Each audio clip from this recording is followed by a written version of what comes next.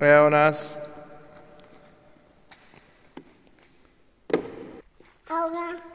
Evo nas. U hramu Svetog Nikolaja, 15. jun 2024.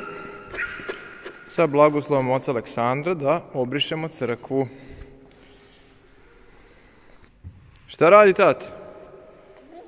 Briše. Miki, nešto si pronašao? Sad se ponosao, tata. A, pa tu još dođu deca pa se igraju, da. Mogu da pogledam?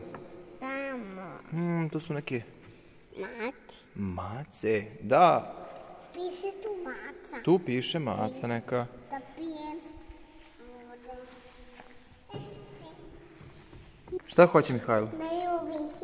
Da ljubim krst. Jao, bravo. To su neke boje. Pa tu ima svašta, vidiš tu se prodaje svašta. Ne diramo ništa od toga, ne smijemo da diramo. Možeš samo da ljubiš i da ostavimo. To je buje. Evo još jedan krst da ljubiš. Ljubi. Ajde, kako ljubiš?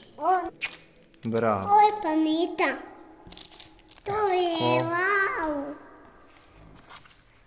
Evo ga, pod je obrisan. Ovdje je obrisana. Ništa nema. Ko je brisao pod? I? Mikajo. Jeste. Idemo da operemo kantu i četku tu što smo brisali sa njom. I gotovi smo. Evo ga, sipamo vodu. Lepa česma. Evo ga, Miki. Vidi ovde kako je lepo. Vidi kako je sveštenik ovde napravio letnikovac.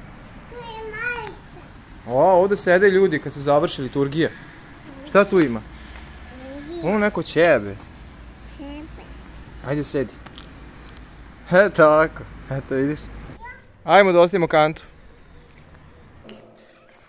Opet ljubi ikone. Bravo, Mihajlo.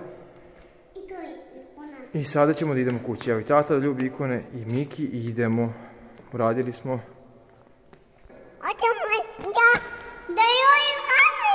Hoću da ljubim majku Božju ikonu. Bravo, Mihajlo.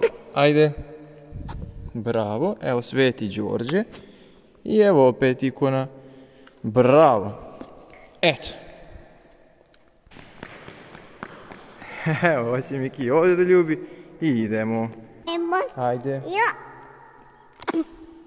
I ovo. Bravo. Evo sad i tata.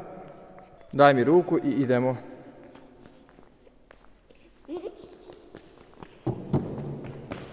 Evo Miki da mi ponese da ne zaboravim. Ajmo.